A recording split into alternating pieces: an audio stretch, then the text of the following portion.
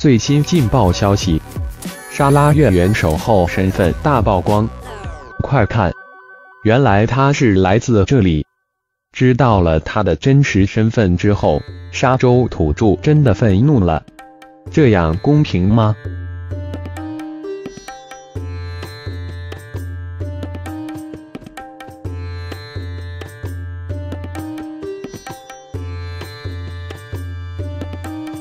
原籍叙利亚的沙拉越元首后拉加古迪，在与州元首泰伊马木结婚七年内即获得沙州马兰诺 （Malanao） 土著地位，引起其他酒后一职身份的沙州土著大呼不公。更有律师称，这种越权的做法将开启影响真正土著权益的不良先例。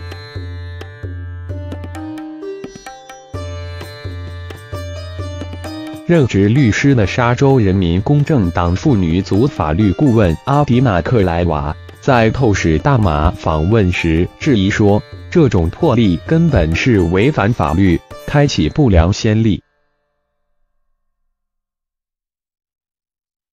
所以往后外籍人士都能轻易透过特权取得土著地位。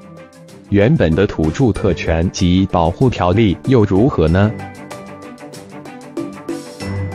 一个人可以改变国籍，但却无法改变源自于血缘的族裔身份。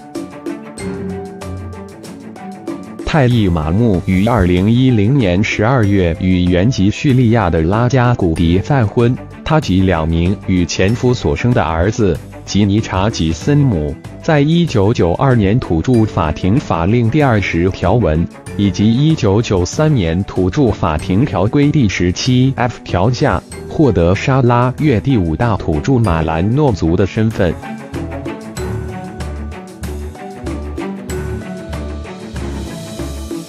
古晋土著法庭是在去年七月二十四日公布三人享有沙拉越土著地位，并在十一月九日在宪报上颁布。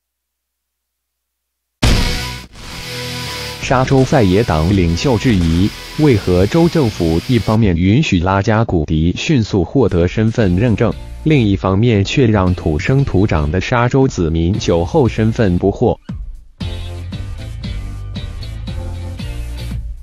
阿迪娜担忧地表示，州政府这种史无前例的做法，已引起许多真正土著的忧虑，害怕有一天这些外人会连他们的祖传的也夺走。这明显已侵犯我们土著的权益，即使是本地人透过与土著通婚，也不见得能轻易获得土著地位。国籍和族裔是不同的事情。马上转发。